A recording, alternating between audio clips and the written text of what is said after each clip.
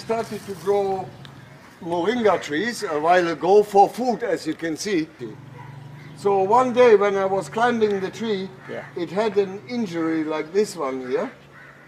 And I was climbing it and I felt uh, like an electric shock, almost like an electric fence, you know, from uh, an elephant fence or cattle fence.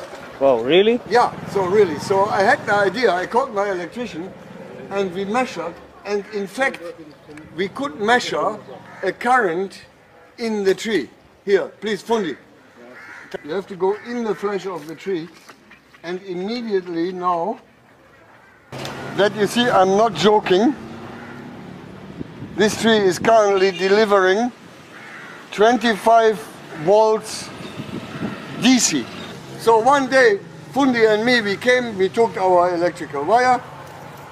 So just an electrical wire, round our tree, nicely, like that. Tight.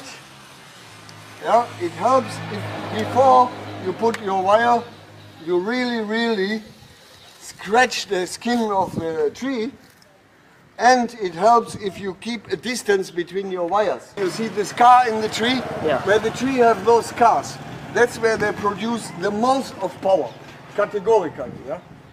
So that is where you can get up to 280 volt, even AC. But lunchtime when it requires full sun. Uh, electrical connectors. Now we should be able to measure the current or we can run a light bulb or a grinder, which we are going to do for you in a second. Okay? So now, of course, I have both wires on. So here, careful. You see that? This is now 220 volt DC. You can check here, there is no wires going to the tree or whatsoever.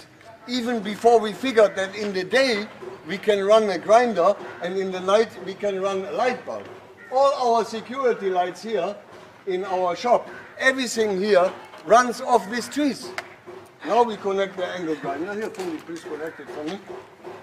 So, now you can see it is uh, 2 o'clock lunchtime, bright sunlight. Yeah? So, we will see if we get now an angle grinder to run. Yeah.